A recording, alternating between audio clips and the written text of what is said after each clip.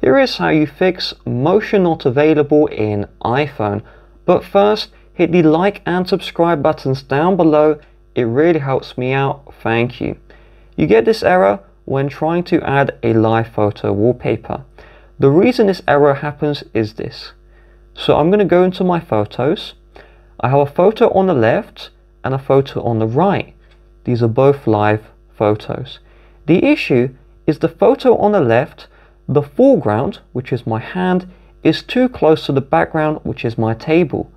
This is compared to the uh, live photo on the right, where the hand is in the foreground and it's far away from the background. So you will need to take a new live photo where the foreground is as far away as possible from the background and so your iPhone will then be able to create the live photo. So let's take a look at that in practice.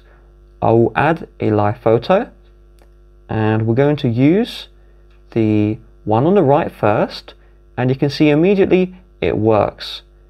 Now let's use the one on the left and you're going to see it's going to give the error. So you just need to follow the earlier instructions and then you'll be able to have the live photo up and running.